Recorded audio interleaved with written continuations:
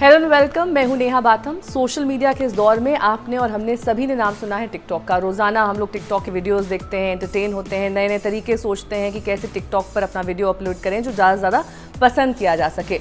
लेकिन टिकटॉक ने अब एक बहुत ही अनूठी और अच्छी पहल की है। उन्होंने सौ करोड़ रुपये कोरोना के लिए जो लोग लड़ रहे हैं, उनके लिए डोनेट करने का, यानी कि चैरिटी में देने का फैसला किया है। ये वो लोग हैं, यानी कि डॉक्टर्स नर्सेज जो लगातार संक्रमित मरीजों के संपर्क में आते हैं। ऐसे ये 100 करोड़ रुपए जो उन्होंने टिकटॉक की ओर से दान करने का फैसला किया है, उनके लिए हैजमेट सूट्स और साथ ही मास्क की व्यवस्था के लिए डोनेट किए गए हैं। हम आपको बता दें कि लगातार टिकटॉक कंपनी संपर्क में है ministry of health and welfare के और साथ ही मिनिस्ट्री ऑफ़ टेक्सटाइल के कि इस तरह के मास्क बनाए जा सकें और ऐसे में उन्होंने प्लेज किया है कि वो चार लाख हैजमेट सूट्स यानी कि जो प्रोटेक्टिव गेयर होता है, उसके लिए डोनेट करेंगे या फिर बनाएँगे और दो लाख मास्क भी तैयार करेंगे मिनिस्ट्री ऑफ़ टेक्सटाइल्स के साथ मिलकर। ऐसे में लगातार बातचीत जारी है दिल्ली सरकार के साथ, महाराष्ट्र सरकार के साथ, ताकि वो अपने डॉक्टर्स और नर्सेज को प्रोटेक्ट कर सकें, जो रोज़ाना कई ऐसे मरीजों के संपर्क में आते हैं जो कि कोरोना वायरस से पीड़ित हैं। ऐसे में इन डॉक्टर्स और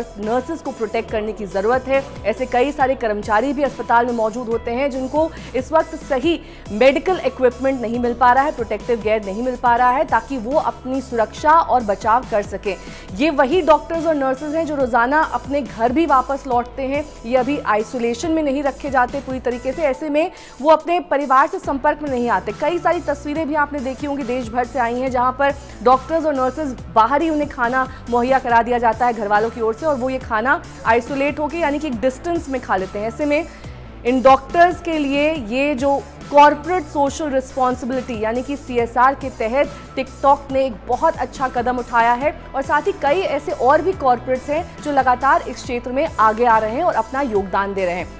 यानी कि जो भी इस समय कोरोना वायरस से जुड़े हुए संक्रमित लोगों के लिए कुछ करना चाहता है। उसमें टिकटॉक ने भी अब आगे आकर एक बहुत अच्छी मिसाल पेश की है और 100 करोड़ रुपए जैसी मोटी चौड़ी रकम। हालाँकि ये हम नहीं कह सकते कि इतना करना या फिर इतना दान देना काफ़ी है। हर कोई जो अपने अपने तरीके से पहल कर रहा है इस तरह के डोनेशन के लिए, वो ये संभव कोशिश कर रहा है कि ज़्यादा से ज़्यादा मदद उन लोगों तक पहुँच सके जो लोग इस वक्त कोरोना जैसे संक्रमण से जूझ रहे हैं और 130 करोड़ की आबादी से आप समझ सकते हैं कि इस वक्त इस संक्रमण का किस हद तक मल्टीप्लाई होना आने वाले वक्त में मुमकिन है, संभव है। ऐसे में ज़रूरत है हम सबको अपने अपने तरीके से इससे लड़ने की।